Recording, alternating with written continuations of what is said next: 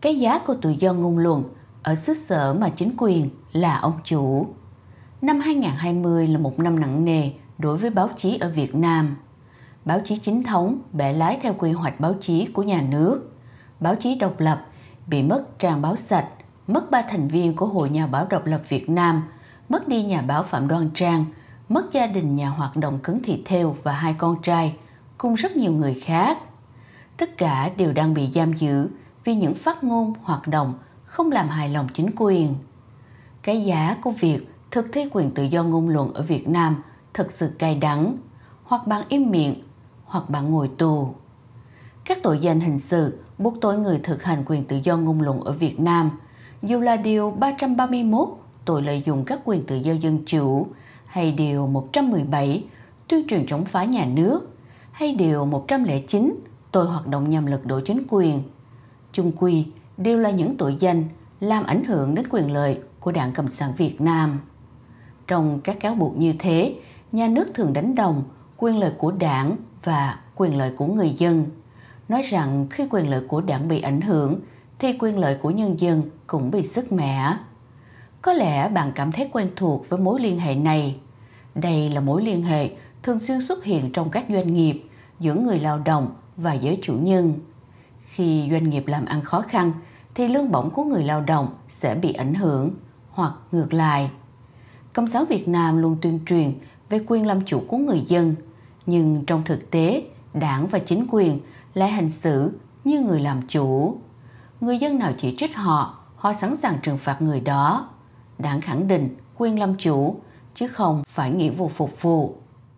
Trong doanh nghiệp, ông chủ có quyền xử phạt đuổi việc người lao động vì họ là chủ sở hữu. Tuy nhiên, đất nước Việt Nam không phải do Đảng Cộng sản Việt Nam sở hữu. Quyền sở hữu đất nước hoàn toàn thuộc về người dân. Tại Miến Điện, chính quyền quân sự do các tướng lĩnh quân đội nắm quyền đã kiểm soát đất nước trong một thời gian dài.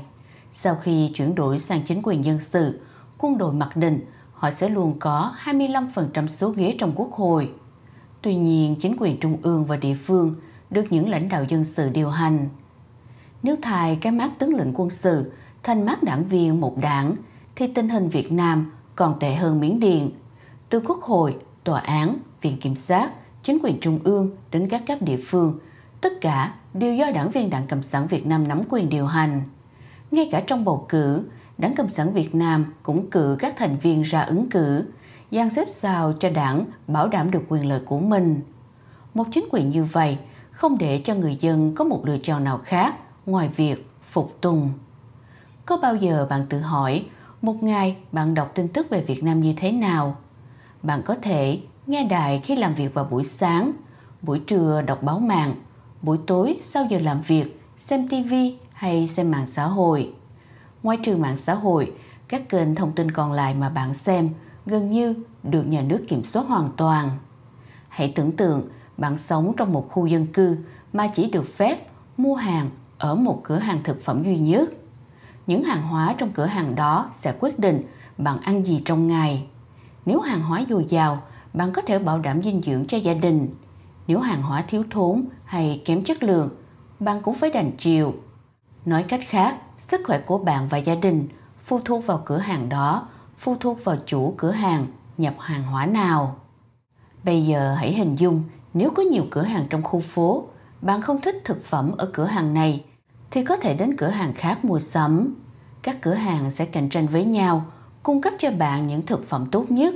Họ tôn trọng nhu cầu của bạn vì đáp ứng nhu cầu của bạn sẽ giúp họ gia tăng doanh thu. Kiểm soát báo chí cũng giống như chuyện chỉ cho phép người dân mua hàng ở một cửa hàng duy nhất. Trong nhiều thập niên qua, chính quyền đã quyết định người dân nên biết gì và không nên biết gì. Họ quyết định những tòa soạn nào hoạt động, hoạt động như thế nào, không được đăng những tin tức gì. Toàn bộ việc kiểm soát này sẽ quyết định người dân tiếp cận thông tin như thế nào.